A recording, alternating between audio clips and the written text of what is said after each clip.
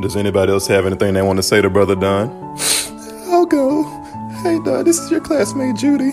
And honestly, I kind of liked it you, and you're always nice. And to be honest, if you were still alive, I'd probably let you hit right now. Oh, Whoa, whoa, what's he doing? uh, girl, he up now. Back from the dead. Now it's time to give him head.